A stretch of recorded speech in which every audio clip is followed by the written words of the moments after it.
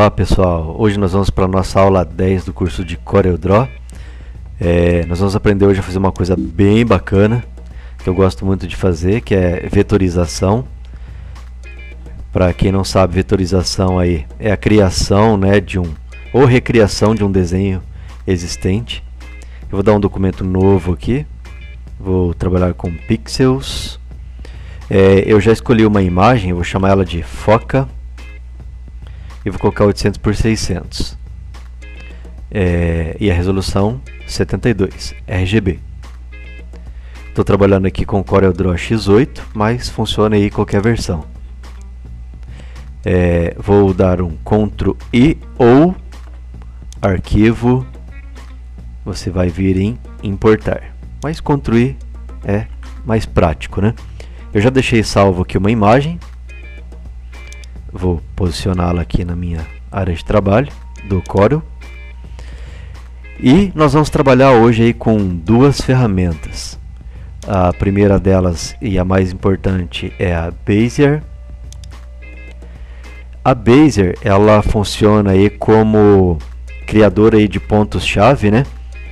É, o que, que é um ponto-chave? Toda vez que vai ter uma curvatura aí na, no seu desenho, na sua imagem, né?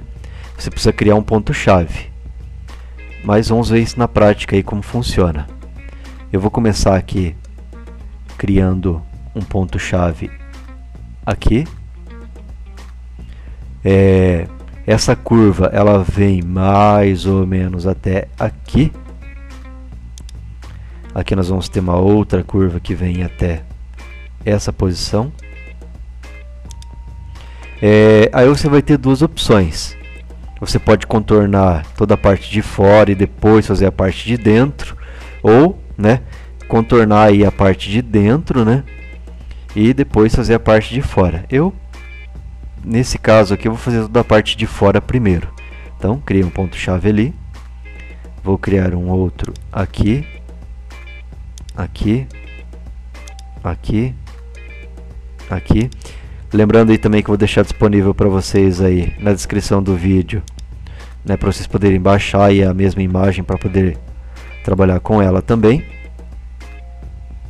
Acredito que essa curva ela vá finalizar aqui.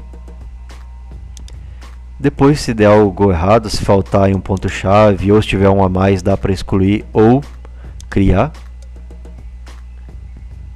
Então, Notem que cada vez que a curva troca aí de direção, eu crio um ponto-chave. Como aqui vai ser uma curva meio complexa, eu vou criar um ponto-chave aqui e outro mais ou menos aqui. Seguindo aqui, é, vou criar outro aqui e outro aqui. Você não precisa obrigatoriamente criar no mesmo local que eu estou criando. É claro que tem que tentar ser né, o mais próximo possível. Para ficar fácil aí depois na hora de você criar as curvaturas, as curvaturas aí da imagem. Bom, vou finalizar aqui onde eu comecei. Aí nós vamos aqui para a ferramenta de seleção. Eu vou clicar com o botão direito aqui para trocar a cor da linha, né? e vou alterar aqui a espessura dela para 2 para ficar mais fácil aí para a gente poder visualizar a linha agora o que a gente precisa fazer é fazer as curvaturas na linha. Para isso a gente vai usar aqui a ferramenta forma né, ou shape se o seu Corel tiver em inglês. Bom vou vir aqui na linha, botão direito em cima dela e vou na opção em curva ou to curve né, no inglês. Olha só como é simples, né, de criar a curvatura. Muito fácil, né? Vou vir aqui novamente. Ó, notem que quando eu faço aqui essa curvatura, ele está estragando aqui a parte de cima, ó. Aí eu tenho que vir aqui, puxar e ajeitar aqui a setinha de baixo. Notem que são duas setas, ó. Se por acaso elas sumirem, é só você procurar aqui onde você criou o ponto-chave que elas aparecem novamente. Ah, mais ou menos isso aqui. Não precisa ficar 100% perfeito, né?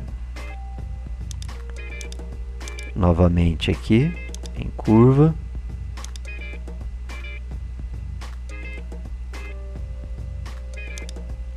Essa aqui a gente dá uma subidinha. Para quem tem mais dificuldade com o mouse, aí você pode dar um pouquinho mais de zoom, né? Aí você tem aí uma noção melhor do que está fazendo, né? Sempre recomendável trabalhar com bastante zoom. Novamente aqui. Mais ou menos isso. Essa parte aqui da de trás dela vai ser um pouquinho mais complexa de fazer. Acredito né? Vamos ver. Ó, você puxa um lado dá uma estragadinha no outro aí você tem que ir ajeitando. Mais ou menos aquilo ali também Notem como é muito fácil. Claro que eu escolhi um desenho simples aqui também, né, para ficar mais fácil para vocês entenderem. É, mas funciona aí para qualquer tipo de desenho que você queira recriar, né, vetorizar. Lembrando, né, que recriar e vetorizar aí é praticamente a mesma coisa. No caso do vetor aí, vocês vão ver no final aí da imagem que no final da criação que ela vai ficar uma qualidade melhor do que a imagem original.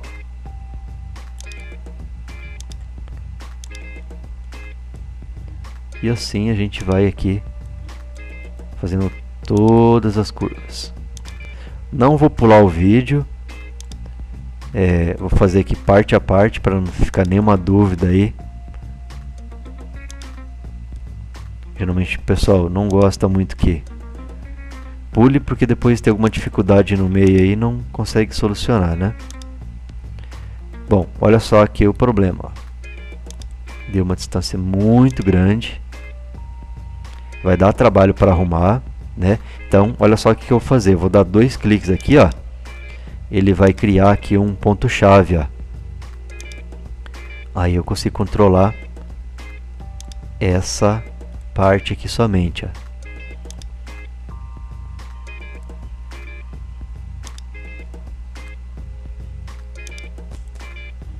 Olha.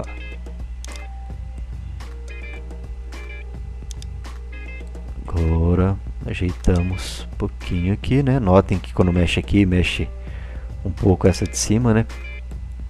Mas é só ajeitar também. Belezinha. Aqui também eu vou dar uma curvadinha nela de leve aqui, né? Para não ficar tão reto. Não tem tanto problema se ficar meio fora, mas eu vou arrastar aqui, ó. Aí.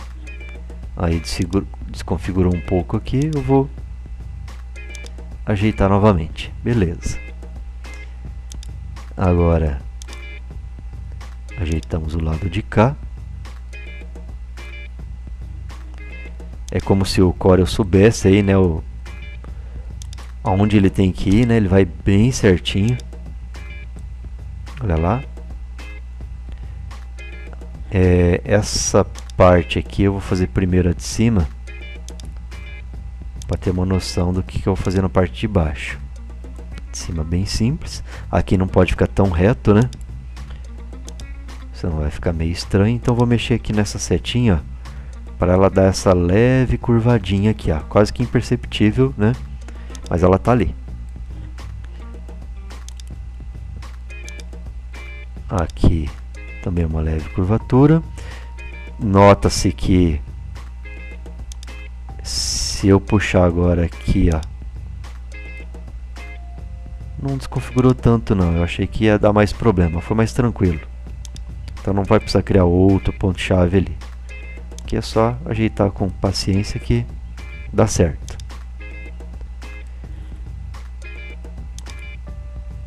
Parece até mágica, né? Como vai se formando o desenho.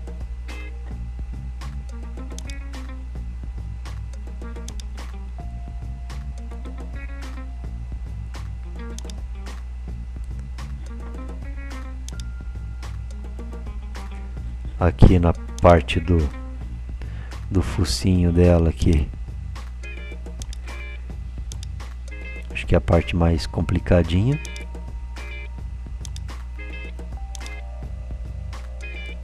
Mas a gente dá um jeito também, né? Na verdade eu deveria ter feito esse focinho dela aqui separado, né? Porque ele tem cor diferente. Mas só a gente dá um jeito depois também. Basicamente isso aqui.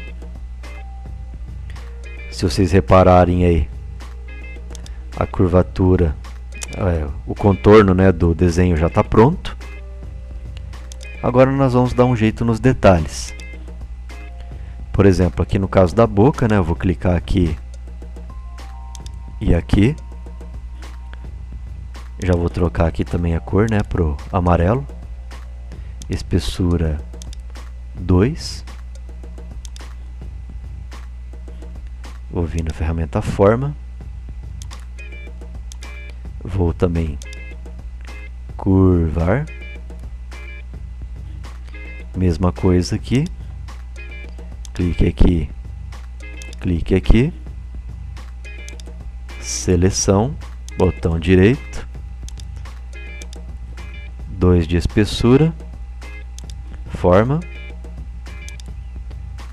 Em curva. Olha lá. Praticamente pronto. Vou fazer aqui agora a sobrancelha dela, né? Aqui, aqui. Eu vou tentar fazer só com com, essa, com esses pontos-chave, né? É, eu vou clicar aqui dentro para ficar preto, para ficar fácil para mim me localizar ali na hora de arrastar.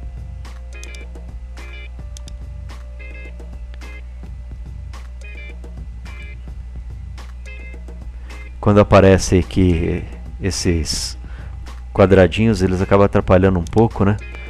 Aqui você pode escolher, ó, aramado simples, aramado, rascunho. É... Aí nós vamos ter outras opções aqui, aperfeiçoado. Vou deixar aqui no aperfeiçoado mesmo. Aqui eu tenho que achar agora onde está a pontinha basicamente é aqui. Eu vou colocar agora aqui essa curvinha.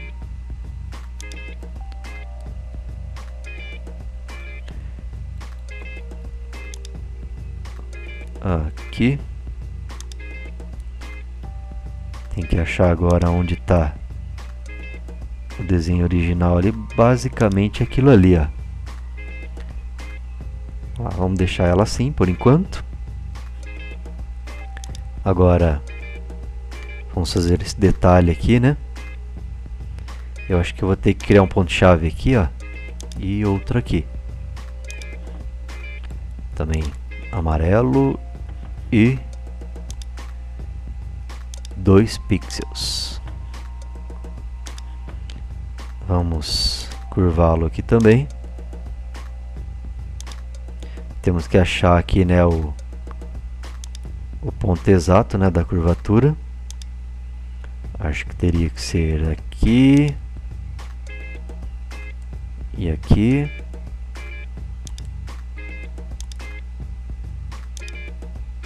Mais ou menos isso aqui também.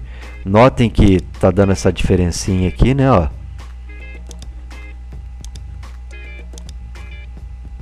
não ficou muito igual ali a, a imagem de cima. Então eu vou trazer mais para cá.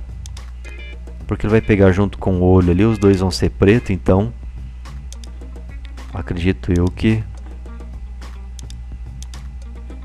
não vai aparecer tanto, olha lá.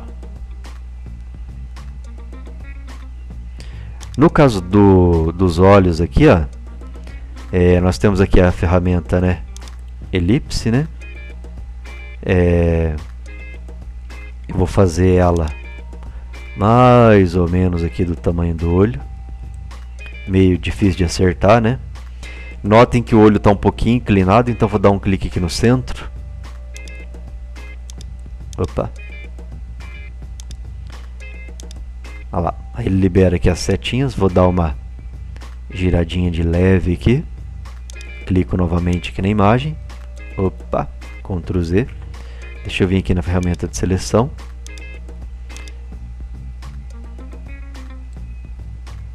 Deixar também eu trocar a cor aqui, né, para mim ter uma noção do que eu estou fazendo. Agora aqui é só acertar o tamanho.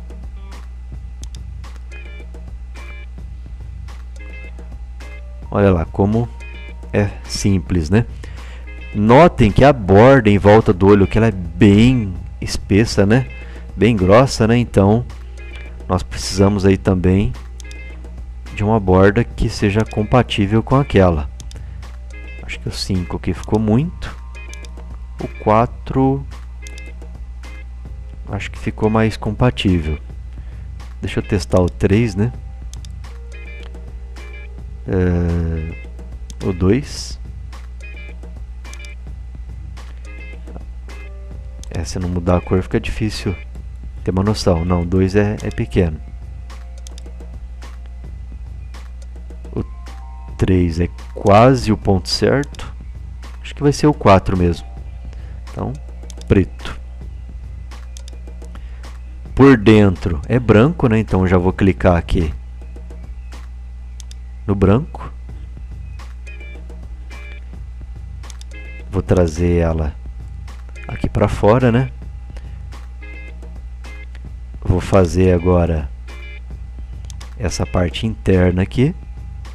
É o, basicamente né, o mesmo processo. Vou clicar.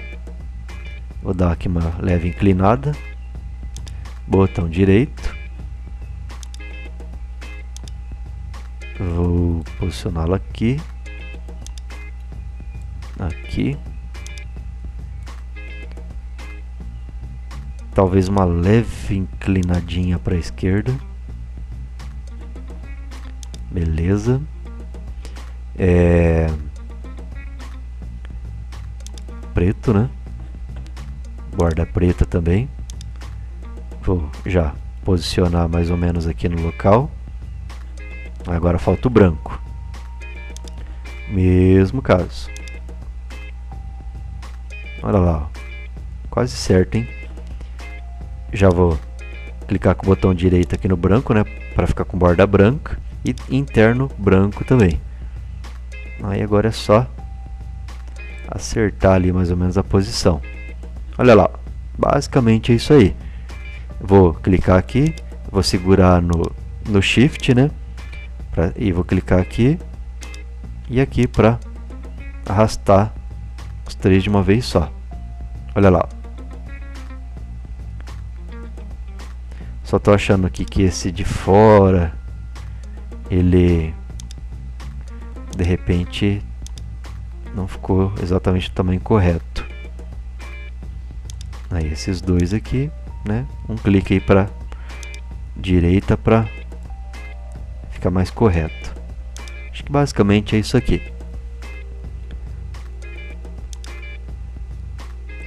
Bom, fizemos aqui já a parte do olho, né? É, agora precisamos fazer essas linhas aqui que estão faltando. Então vamos lá para Bezier novamente. Vou dar um clique aqui, aqui, amarelo. Vou colocar aqui um 2 de espessura.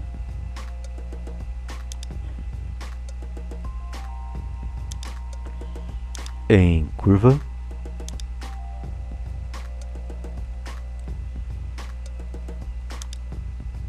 Olha lá. Um pouquinho mais de zoom aqui, né? Porque está meio fora. Essa linha ela tem que acompanhar essa linha de baixo, ó.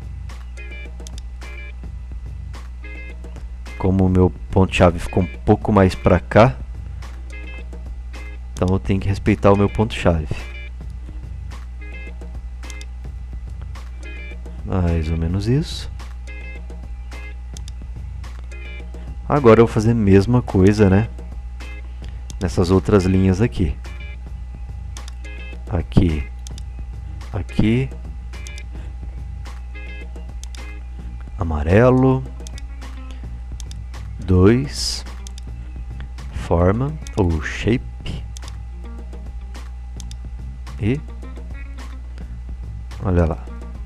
Muito fácil de fazer, né? ela só está um pouquinho fora aqui também dessa outra original porque por algum motivo meu aqui tá meio fora, não sei se eu fiz fora mesmo provavelmente, né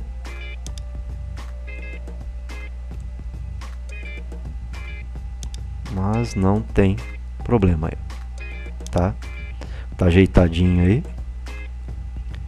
Aqui, como eu mexi, ele deu uma desajeitada também. Ajeito aqui.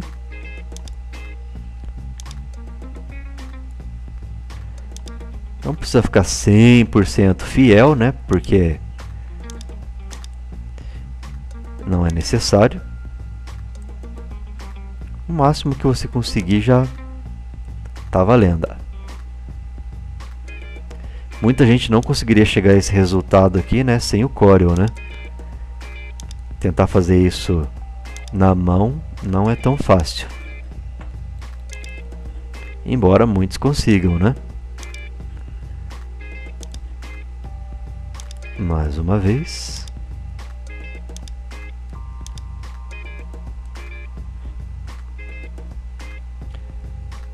Quase tudo pronto. Vou fazer agora essa outra parte aqui. Mesma coisa, clico, clico. Vamos amarelá-lo. A cor não importa, né? Você pode escolher a cor da sua preferência. Eu coloco amarelo porque ele contrasta bem aqui com azul, né? Então é mais fácil de visualizar.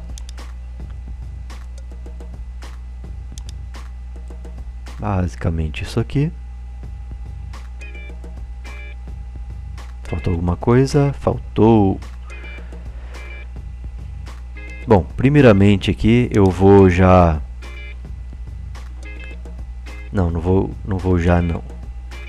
Eu vou fazer o nariz aqui separado, né? Que eu deveria ter feito isso no começo, mas eu não prestei atenção nesse detalhe. Bom, vou clicar aqui, para criar um ponto chave aqui, outro aqui, outro aqui. Se eu não fizer isso aqui, eu não vou conseguir pintar o nariz separadamente depois, né? Uh, vamos colocar aqui um outro tom só para não confundir.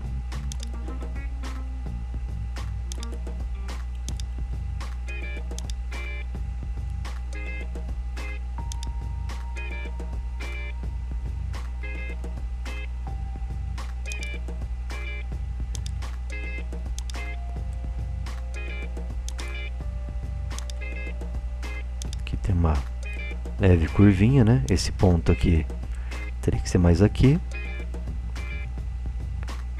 Acho que basicamente vai ser isso, né? Vamos alterar aqui a espessura para ver se ele cobre aquele amarelo. Cobriu, belezinha. Agora ele tem que ser preto e preto. Aí ali nós tínhamos, né? Um detalhezinho em branco. Mais ou menos nessa posição.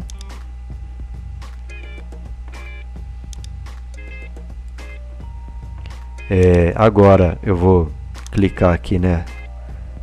Se você não estiver visualizando, é só clicar no maisinho, né? Ó. Aqui no camada 1, né? Aí você vai ter que a imagem da foca, que é a imagem original. Eu vou trazer ela para o lado de cá. Essa que eu desenhei, eu vou selecionar ela inteira aqui, ó. Botão direito, né, para ficar tudo preto. Vamos ver se não faltou aqui nenhum detalhe. Então, por que, que eu, eu desenho o nariz separado de novo, né? É, porque se eu fosse querer pintar ele de uma outra cor, por exemplo, se eu quisesse colocar aqui vermelho. Agora dá, mas antes, hora que eu pintasse a foca, o nariz também ia ficar azul. Porque eu fiz tudo junto, né? Opa, Ctrl Z somente o, o nariz aqui, né, que eu quero pintar agora. Agora, como que a gente vai achar mais ou menos uma cor aqui para nossa foca? Eu vou pegar aqui o conta-gotas e você vai escolher ou essa, ou essa, ou essa. Vou pegar inicialmente essa aqui. Ó. É só clicar aqui e olha só, que bacana, né? Tá aqui e olha a diferença aí do o que, que é um vetor, né? Por exemplo, essa imagem que quando a gente aproxima nós conseguimos visualizar os pixels dela, né? Dependendo do que você vai usar, a qualidade dela já não é muito bacana. Agora essa que nós fizemos aqui, ó, olha lá, eu posso aproximar e ela não dá aquela falha de pixels, né? Ou seja, uma imagem de alta qualidade. Uma dica aí para vocês, né? Para quem tem criança, né? É... Olha lá, você pode imprimir para a criança colorir né? Muita, muita gente faz isso, né? Bem bacana aí de fazer. Tô notando aqui que o nariz, né? O, esse contorno preto aqui do lado de dentro, ele tá um pouco fora, né? Eu já vou aproveitar para ajeitá-lo.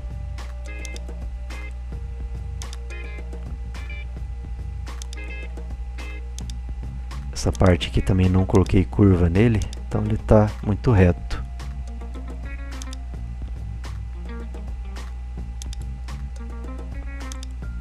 Basicamente isso aí.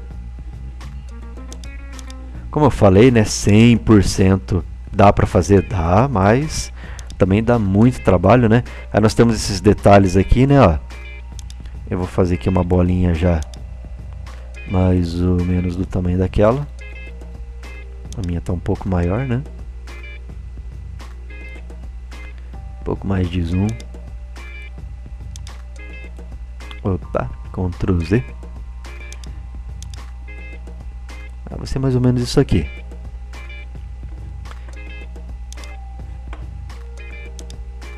Aí agora eu vou posicioná-la.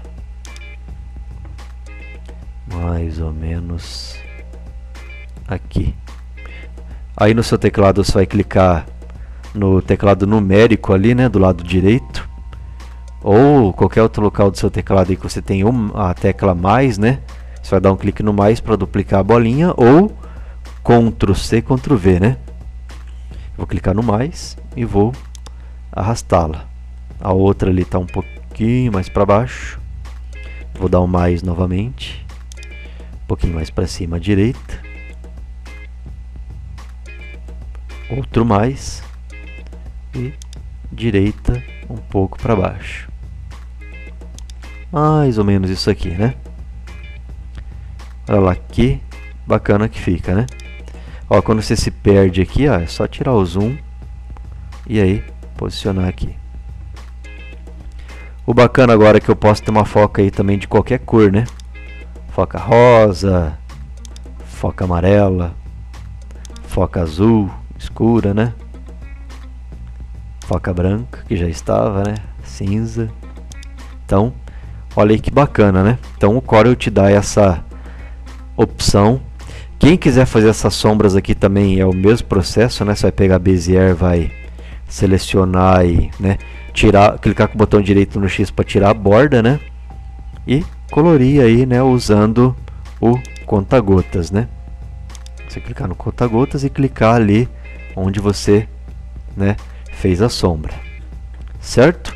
Muito fácil, né, pessoal? Então, Vou pedir para vocês curtirem o nosso vídeo, se inscrever no canal, dar uma olhada nos outros vídeos e vou deixar disponível aí também, né, na descrição do vídeo o download para você poder baixar aí a imagem usada no vídeo.